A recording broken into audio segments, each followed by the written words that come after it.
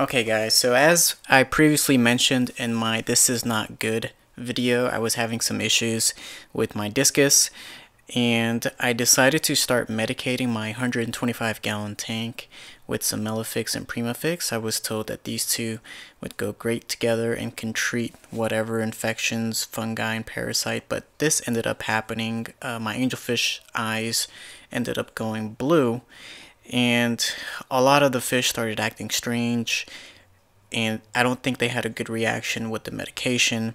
So I started freaking out a little bit and I didn't want to lose them so I just went ahead and threw them in the 29 gallon tank with the silver and blushing pair and as of right now they're not doing so good. Um, as you can see my one of my discus is pooping out white stuff but from what I've read online this usually means that the discus is just really stressed out or that they're having like digestive issues. Um, so it's not like a, it could be a parasite or, you know, whatnot, but, you know, I medicated the tank and I don't know, I'm just really worried about this discus, but I think I just need to give it some time and hopefully the discus will get better. But you know, anytime that I see that there's an issue going on with my fish, if it's an emergency, I'll move them to another tank as quickly as possible.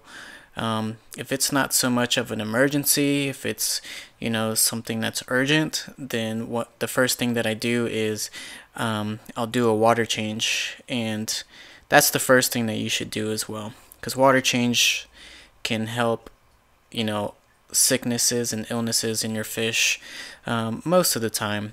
But, you know, I wasn't too worried, but at the same time, they were still not eating. And the angelfish were doing okay. The parent were doing 100%. But Red, the koi angelfish that you see right now, was not doing so good. And uh, Cheddar Bob, which you probably won't see in this clip, because um, I didn't get footage of him, but he he was not doing so well either. Um, none nobody was eating except the pair, and I was just kind of worried about it and I was kind of stressed out because, you know, I had just got these fish and I'm already having issues. But nonetheless, um, I decided to go ahead and do, oh, there's Cheddar Bob. I went ahead and decided to do a water change um, because, you know, in the past, this is what I've done for my angelfish. Um, water change can remove, you know, ammonia, nitrates, nitrites. Um, it can help with any parasites. And you know at first you know I kind of lost all hope. And uh, I was like man this water's water change is not going to do anything.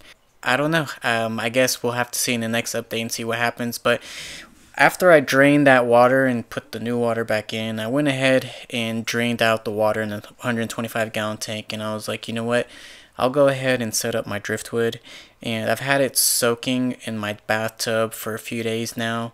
Um, when I first put it in there it float it floated a little bit but then eventually it, it went ahead and sank to the bottom um, and that's why you always want to boil. I recommend that you boil your driftwood but if it's too big just try to soak it for like four days um, and that's what I did and what I was going to do next is I was going to go ahead and move the plants around because as as of this clip right here I had the plants pretty much spread out and they were evenly spread out from one side of the tank to the other.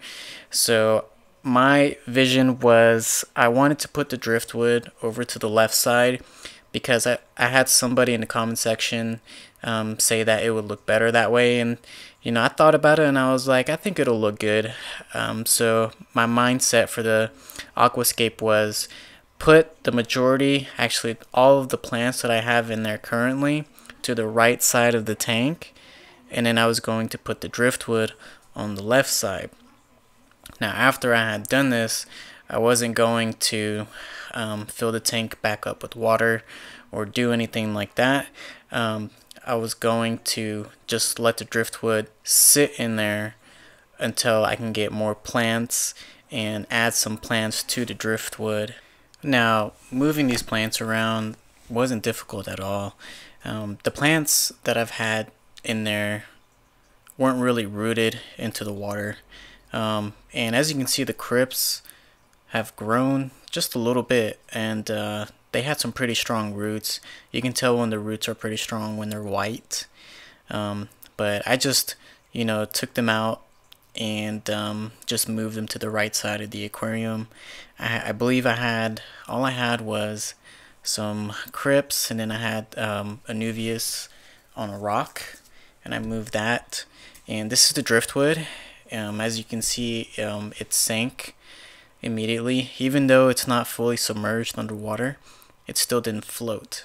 Um, and getting it in there was a pain but as soon as I put it in there, I ran into an issue. It was sticking out of the aquarium. And this is not good for my aquarium because my aquarium has glass lids.